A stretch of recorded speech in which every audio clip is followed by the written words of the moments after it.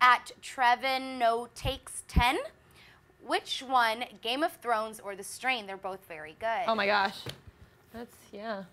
I watch both shows. That's a tough wa- one, right? I That mean, they're really different. tough. They're so different. Do you guys all watch both shows? I'm not a throner. Um, Not a I watched. I'm not I've either. watched bits and pieces of it of of Game of Thrones, but I'm not a throner. By- I would by no love if this got I didn't as- even know that existed. So I didn't that even just know that existed, but I'm definitely a throner. if, Yeah. that's a, if that's a word, I'm a throner. I feel I love made that up, but I'm not a So throner. which so Yeah. which one then? Um, they are definitely really different, and we're only Yeah. three episodes in. So I mean, it's it's hard to compare right now. She's Right. a throner for life. I mean, I am for life. I'm Yeah, definitely a that's throner her for life. trying to be nice and being like, I will never ever stop watching Game of Thrones.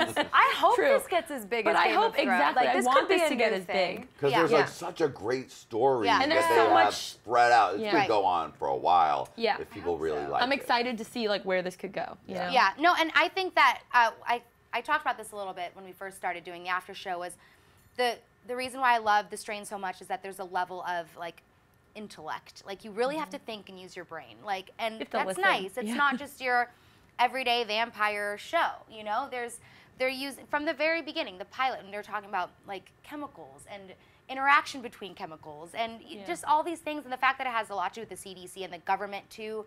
You can speculate about like potential conspiracy theories. Like I just love that they're really They're digging making in. us use our Yeah. brain. They're digging. There's yeah. some dense mythology going on with Yeah. this story. Yeah. and Lot- it's lot gonna of be symbolism. Exciting Yeah. as it all starts to come out. yeah, I want Yeah. them to talk more about that though, because we see all these weird designs on coffins. We see these weird eclipse Yeah. posters in the background, but they haven't really delved in yet Yeah. into the mythology part and Mhm. All I can Yeah, say astrology is, or whatever is going on. Ooh, bitch.